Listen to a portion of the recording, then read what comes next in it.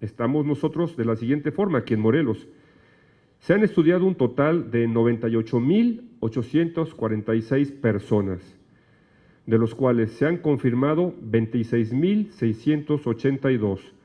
Recordar que estos números engloban los tres tipos de pruebas que estamos realizando, las PCR, tanto la clásica nasofaringea y la de saliva, y la tercer tipo de prueba, la antígena, la antigénica.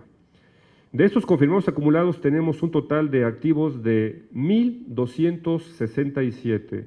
Recordándoles también que los casos activos son aquellos casos confirmados, positivos confirmados, que han iniciado los síntomas durante los últimos 14 días y que por lo tanto son los que más fácilmente pueden transmitir la enfermedad de la COVID-19. Tenemos todavía 1.597 sospechosos en espera del resultado. Estos solamente son para prueba PCR porque son las que tardan un poco más en estar los resultados. Y estaremos informándoles después si pasaron algunos de estos al rubro de los confirmados o a los negativos. En los negativos acumulados tenemos ya 70.567 casos.